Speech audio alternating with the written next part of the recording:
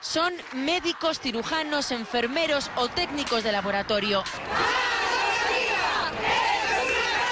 Por la prensa se enteraron de que su hospital se cerrará antes del 1 de enero de 2013. Estamos a expectativa de información. El gerente no ha dicho nada, el consejero no ha querido venir por aquí. Se convertirá en un centro para mayores de 75 años. La mayoría, un número importante de nuestros pacientes tienen esa edad y pretenden que lo vamos a tratar mejor eliminando una serie de servicios Tal y como explican en este comunicado, desaparecerán las especialidades de neurocirugía, cirugía maxilofacial, torácica y cardíaca. El servicio de hematología, pues igual, es un servicio también de los primeros de España, en el número de trasplantes y de, de todo tipo, además trasplantes que no se hacen en otros hospitales, en fin.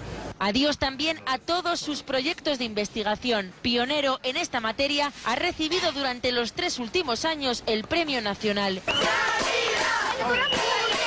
En 2011 fue valorado por los pacientes como el mejor hospital de la Comunidad de Madrid. Para la Comunidad de Madrid este hospital ha sido hasta la fecha un hospital rentable y si así lo ha seguido siendo, no entendemos cómo ahora ya no lo es. Desde la una de la tarde los empleados del hospital están encerrados en el salón de actos y allí seguirán todo el fin de semana hasta que la Comunidad de Madrid decida reunirse con ellos.